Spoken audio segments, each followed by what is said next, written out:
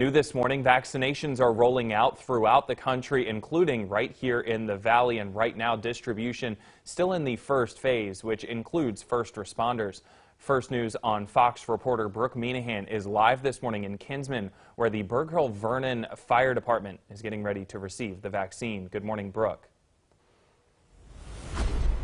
Yeah, good morning, Brandon. They received that vaccination yesterday. It's the Moderna vaccination, and the first doses are going to start rolling out um, in a few hours now. But we're walking you through the process of getting to that point. I'm here with Chief George Snyder. And so when people start to come in, first responders, EMS personnel, what exactly is the process like? So we have a one-way flow through the building. They're going to come up through the one side of the building, they're going to come here, they're going to grab one of these clipboards. And on the clipboards has all the information that we're going to need to get from them to be able to record the vaccine, plus everything that we need to give them before they leave. Okay. Once they come there, they can come to one of these tables. We have them set up so that there's only one person per table, and we have our social distancing practiced. Once they get this folder um, completed, then they're going to be greeted over here by somebody who is running our triage and registration unit. So the, the client will be taken into one of these rooms here on the right. Once they come in here, the individual that's doing triage and registration will sit them there. They'll be over there. They're going to verify all the information that's here grab some vital signs on, them, get their temperature, their pulse oximetry, and make sure that they still want to receive the vaccine, make sure that they can receive the vaccine based on the indications and contraindications to receive it. When they're done, we're going to walk them across to one of these open pods that are over here. These are one of our vaccination units. So they're going to come in here.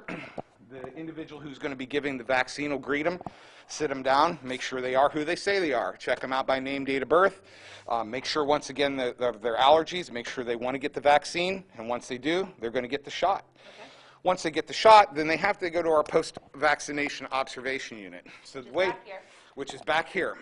What Moderna has set out is that the vaccine, once somebody receives it, they have to be observed for at least 15 minutes unless they've had an allergic reaction to a previous vaccine of any type, then they have to be watched for 30 minutes.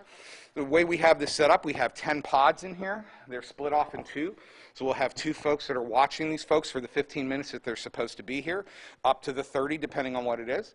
If they have no reactions whatsoever, then they'll be given this discharge paperwork that I showed you that was in this chart right here, along with their vaccination card that shows that they actually received the vaccine.